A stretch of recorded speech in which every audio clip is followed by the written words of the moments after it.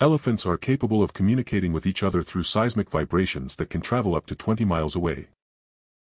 By using their trunks and feet to detect these waves, they can exchange messages about food, danger, and mating opportunities with other elephants in their vicinity.